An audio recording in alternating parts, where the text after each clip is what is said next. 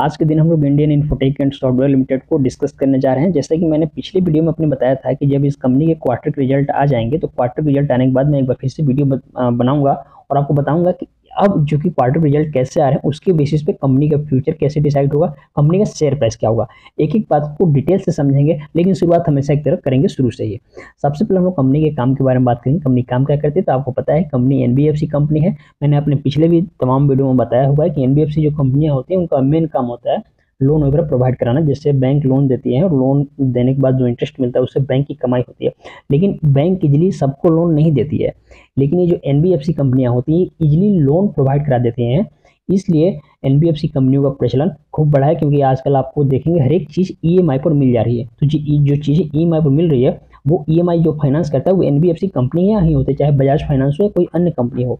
उसी तरीके से एनबीएफसी कंपनी है Indian Infotech and Software Software Limited basically corporate को ये लोन प्रोवाइड कराती है। तो ये तो काम की बात हम लोग जान गए अब चलिए अब लोग बात करते हैं कंपनी के फंडामेंटल का। तो फंडामेंटल में सबसे बड़ा मार्केट कैप एक सौ छियासी करोड़ के आसपास, अभी कम होने के बाद हो गया क्योंकि आपको पता है जब शेयर प्राइस कम होता है तो मार्केट कैप भी कम होता है, और अब देखेंगे तो शेयर प्राइस इन दिनों आपको कम होते हुए दिख रहा है। हालाँकि कितना कम होगा, ये सब हम लोग चार्ट पर समझेंगे जब टेक्निकल एनालिसिस करेंगे तब। अभी फंडामेंटल समझ रहे समझ रहे हैं हम लोग। शेयर प्राइस देखेंगे तो अभी करंट शेयर प्राइस एक रुपये पचासी पैसे के आसपास चल रहा है, जो कि बुक वैल्यू से कंपनी का शेयर प्राइस कम है, ये थोड़ा सा चिंता की बात है। देखिए, सामान्यतः जो शेयर प्राइस होते हैं ना बुक वैल्यू से ज़्यादा होना चाहिए। अच्छी बात यह है कि कंपनी का जो आर है और आरओसी है, यह निगेटिव में नहीं है। सामान्यतः पेनी स्टॉक आरओई और आर निगेटिव में देखने को मिलता है, यहाँ पर ऐसी बात नहीं है। तो ये भी एक प्लस पॉइंट इस स्टॉक की है।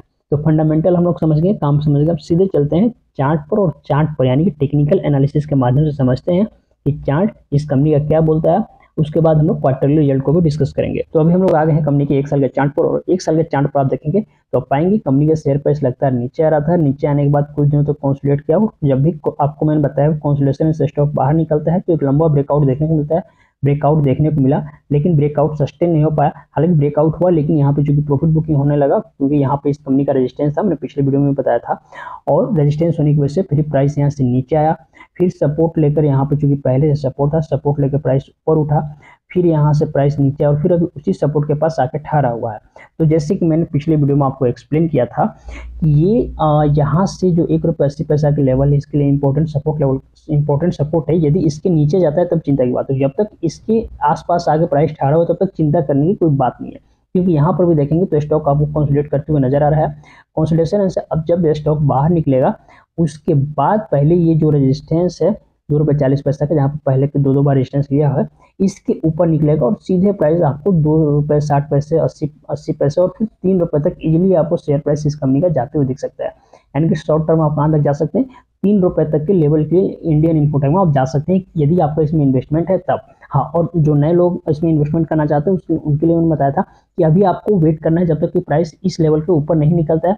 जब इस लेवल के ऊपर निकलेगा तो बेशक आप इसमें एंट्री ले सकते हैं, लेकिन अपनी सोच, समझ और एनालिसिस करने के बाद। और मुझे ऐसा क्यों लगता है कि इसमें एक लंबा ब्रेकआउट अब इस स्टॉक में जल्दी देखने को मिलेगा? क्योंकि मैंने आपको बताया था क्वार्टरली रिज़ल्ट हम लोग वेट कर क्वार्टरली रिज़ल्ट अच्छा आएगा। उसके बेसिस पर हम लोग आगे की रणनीति बनाएँगे। तो चलिए, यहाँ पर हम लोग कंपनी के क्वार्टरली रिज़ल्ट को भी थोड़ा सा डिस्कस कर लेते हैं। यहाँ पर यदि बात करें सेल्स का तो सेल्स देखेंगे सितंबर क्वार्टर रिज़ल्ट में कंपनी का सेल्स बढ़ते हुए दिखा है, जहाँ पिछले क्वार्टर में, जून क्वार्टर रिज़ल्ट में चार करोड़ नब्बे लाख के आसपास कंपनी का सेल्स हुआ था, जो बढ़कर इस बार तकरीबन छह करोड़ के आसपास कंपनी का सेल्स हुआ है। और सिर्फ़ सेल्स ही नहीं बढ़ा है। यहाँ पर यदि आप देखेंगे तो कंपनी का प्रॉफिट भी बढ़ा है। नेट प्रॉफिट की मैं बात करूँ नेट प्रॉफिट देखिए। जहाँ से तब पिछले क्वार्टर में तीन करोड़ पैंतीस लाख था, अभी बढ़कर तीन करोड़ सतासी लाख हो गए तकरीबन चार करोड़ के आसपास कंपनी का प्रॉफिट हुआ है। ये सिर्फ़ सेल्स बढ़ने की वजह से नहीं हुआ है कंपनी का ऑपरेटिंग प्रॉफिट मार्जिन भी देखेंगे तो बढ़ा यानी कि कंपनी के मैनेजमेंट में जो इंप्रूवमेंट हुआ है, वो मैनेजमेंट अच्छे से काम कर रहा है, उसका रिफ्लेक्शन आपको इस कंपनी के शेयर प्राइस कंपनी का प्रॉफिट कंपनी के सेल्स हर एक चीज़ पर दिख रहा है। तो कुल जमा बात यह है कि इंडियन इन्फोटेक आने वाले समय में एक बेहतरीन स्टॉक हो सकता है। देखिए कंपनियाँ शुरू में छोटी होती हैं, समय देते हैं समय के साथ कंपनियाँ बढ़ती हैं उसके शेयर प्राइस बढ़ता है। कोई भी कंपनी शुरू में ही बहुत बड़ी कंपनी नहीं होती है। तो इंडियन इन्फोटेक अभी के लिए एक छोटी कंपनी है, लेकिन आने वाले समय में एक तहलका मचाएगा, एक एक बड़ा स्टॉक आपको बनते हुए दिखेगा। उम्मीद करता हूँ इंडियन इन्फोटेक के बारे में जो बातें मैंने आपको बताई अब अच्छे से समझ पा रहे होंगे। मन में कोई भी सवाल है तो कमेंट में ज़रूर पूछिए, मैं सबके कमेंट का रिप्लाई देता हूँ। यदि आप चाहते हैं मुझसे व्यक्तिगत रूप से जुड़कर बातें करने के लिए तो आप मुझको इंस्टाग्राम पर फॉलो कर सकते हैं। उसका लिंक इस वीडियो के डिस्क्रिप्शन में मिल जाएगा। मिलते हैं अगली वीडियो में, तब तक के लिए धन्यवाद, शुक्रिया।